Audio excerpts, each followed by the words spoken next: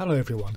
In this short video I'm just going to say a few words about the difference between this PC and C drive in File Explorer. So if you're getting confused about where to put your files and if you're wondering what the difference between this PC and local disk C is, I'm just going to say a few words about it just because people get confused about these two locations. So if you haven't got File Explorer down on your taskbar down the bottom, uh, or if you have it's the yellow folder that's here, or you can go to the search box if you've got one bottom left hand corner and type in File, and then File Explorer will appear. And if you right click onto it, you can pin it to the start or pin it to the taskbar if you haven't already got it there. So click onto File Explorer, and you should see something a bit similar to this.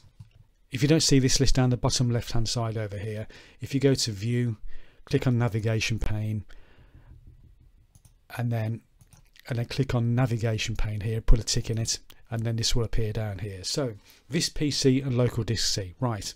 The hard drive in your computer is known as the C drive.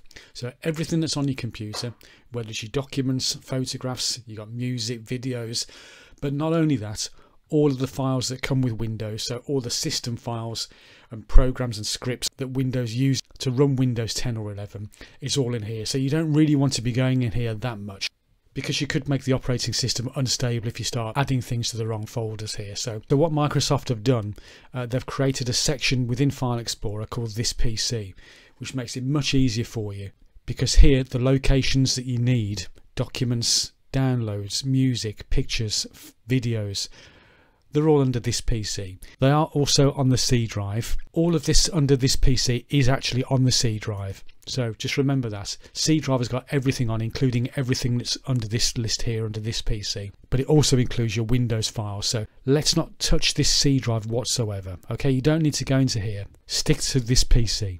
So if you want to save documents, photographs onto your computer, you want to save them under this bit here, this PC. And if it isn't expanded, you can expand it by clicking on this little chevron over here on the left hand side.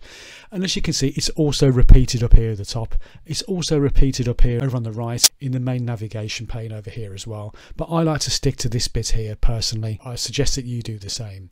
So when you're saving a document or a photograph onto your computer, this is where you want to save it under this PC. So click on this PC, Documents, pictures, downloads, desktop even.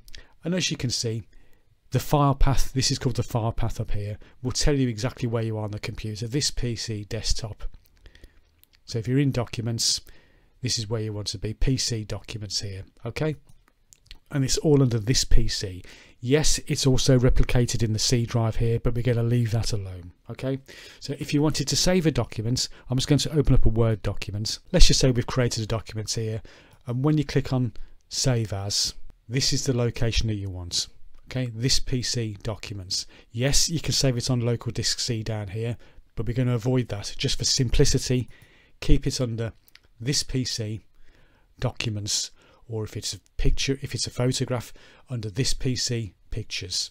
Save your documents or photograph. Okay, and then when you go back to File Explorer, leave the local disk C well alone. You're under this PC, and then you're under Documents, Pictures, Videos. So just to reiterate, local disk C and this PC are actually the same thing.